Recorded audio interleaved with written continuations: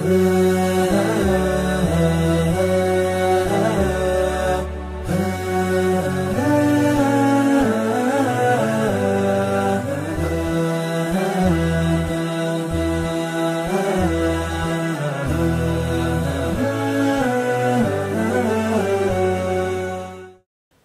alaikum wa rahmatullahi wa barakatuh. Welcome to Ahkam SOS, the Ramadan edition. Inshallah, we'll be going through the Ahkams in regards to fasting by His Eminence the Grand Ayatollah Sayyid Sadiq Shirazi. I'm your host Mohsin Shah and joining me is Sheikh Ma'as. Assalamu alaikum, Sheikhna. Salamun alaikum wa rahmatullah. I would like to congratulate you on this day of the Wiladat of Imam Hassan. MashaAllah, you got the nice bright colours on. وأسعد الله يومكم too. Hassan. Sheikhna, we've been talking about uh, you know the different um, aspects of fasting and the ahkam in regards to fasting. And what I wanted to discuss today was in regards to qada and kafara. Uh, sometimes only a qada is necessary. Sometimes a qada and a kafara is necessary. So let's go for our first question. What are the cases that necessitates uh, a fast to be qada, but there's no need for kafara?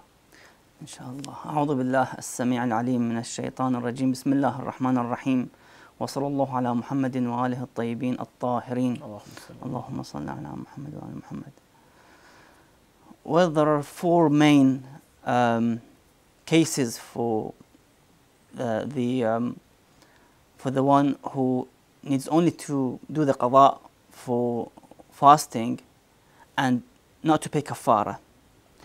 So let's begin with the first one. Now, if that person by purpose and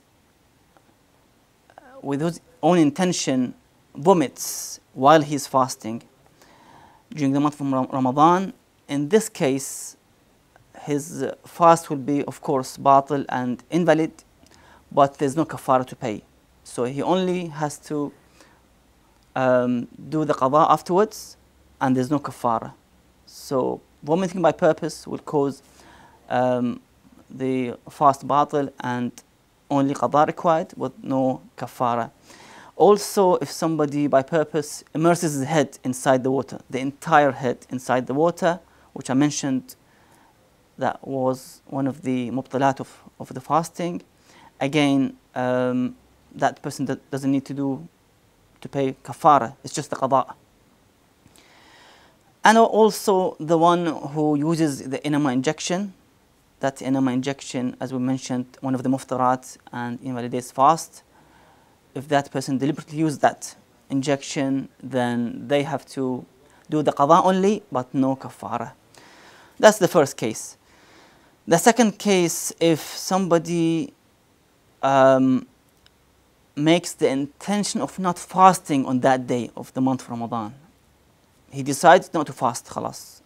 Or let's say he decides and makes the intention to commit one of the muftarat, to eat, to drink, to, to do such and such, that breaks the fast. The minute or the second he makes that intention of breaking the fast in the daytime of the Ramadan, his fast will, will be invalidated.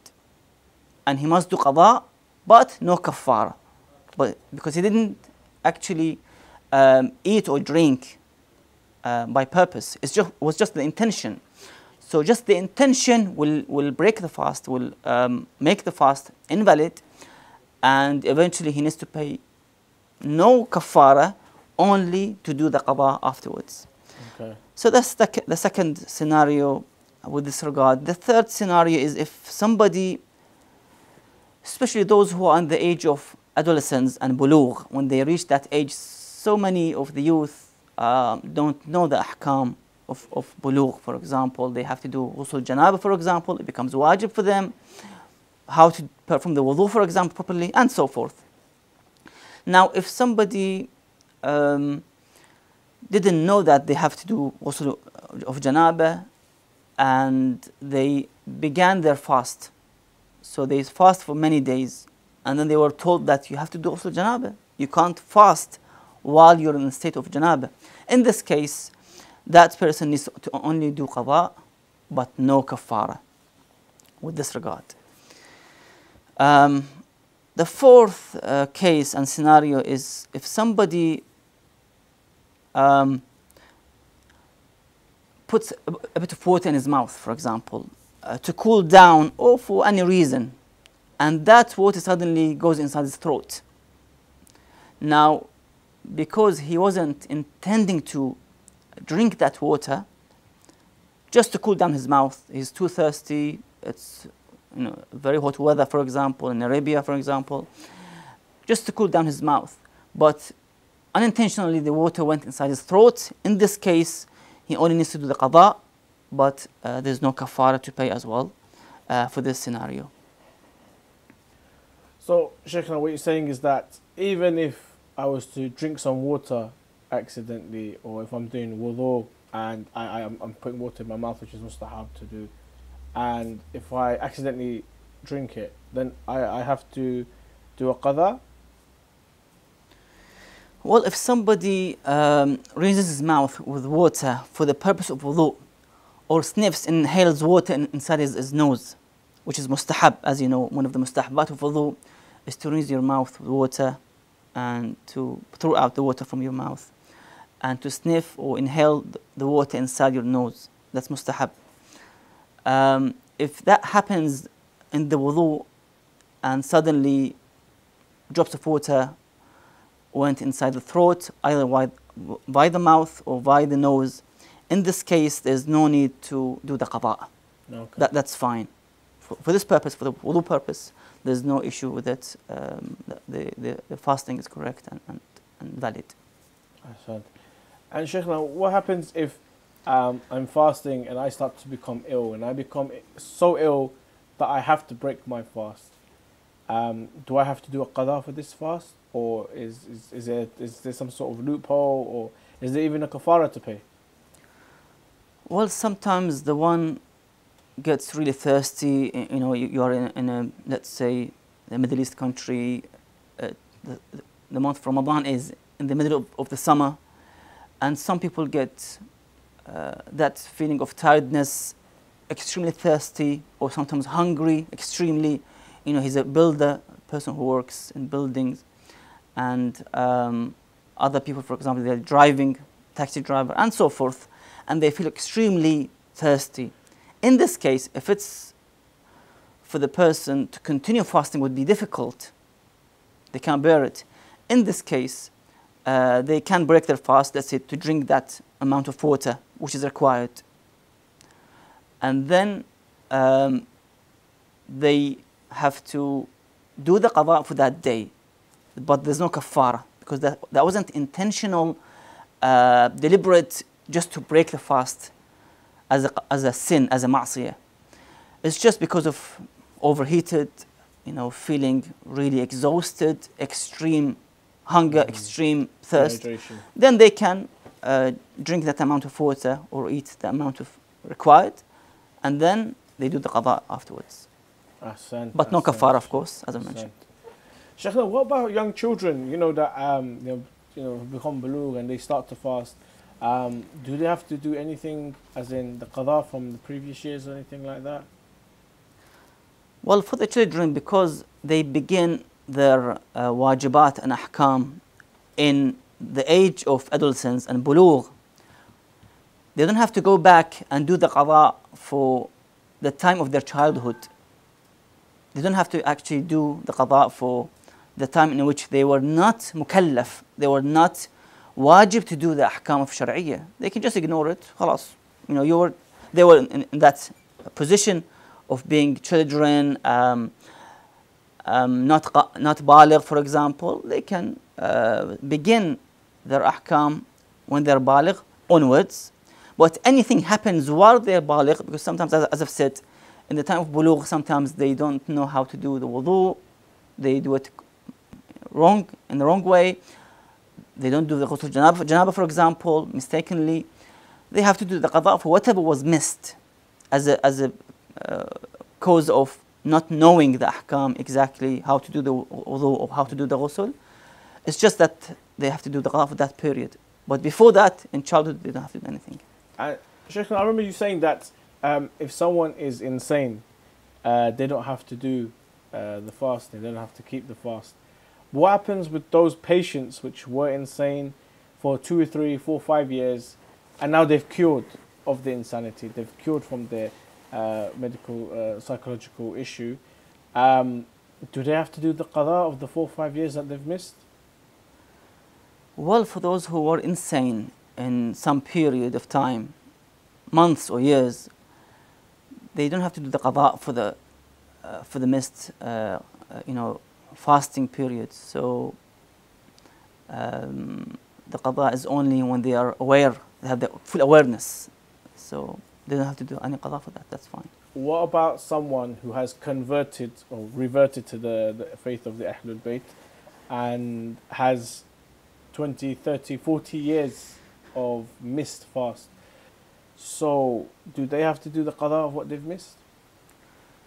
Well, the qada with regard to the fasting um, for the non-Muslims who become uh, eventually Muslims and convert to Islam, um, what we have a rule is uh, that al-Islam yajubbu ma qabla. So when he becomes Muslim, it will override the previous okay. a'mal and the previous years that he didn't do. So he starts fresh as if he now becomes baligh. And he begins just to start the ahkam of salah, saum, hajj, and so forth.